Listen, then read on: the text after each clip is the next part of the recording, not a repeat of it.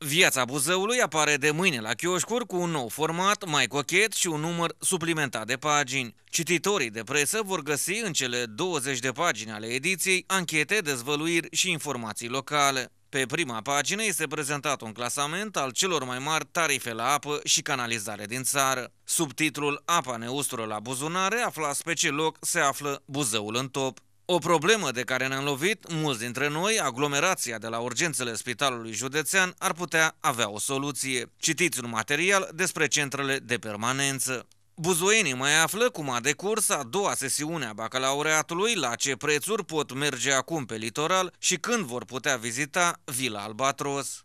La Buzău a început distribuirea alimentelor de la Uniunea Europeană. Citiți un reportaj despre lipsa de organizare a autorităților și luptele care se dau pentru a intra în posesia primelor ajutoare. Promisiune de campanie dusă pe apa sâmbetei. Veți afla cât s-a cheltuit din bugetul județului pentru o tiroliană care nu funcționează. Sportul are rezervate două pagini. Viața Buzăului publică programul Gloriei în Liga a doua și al Superligii din fotbalul mic. Noutățile din fotbal sunt în prim plan, dar Buzăul are performanțe și în rugby. Viața Buzăului mai publică articole de medicină naturistă, precum și anunțuri imobiliare și locurile de muncă vacante.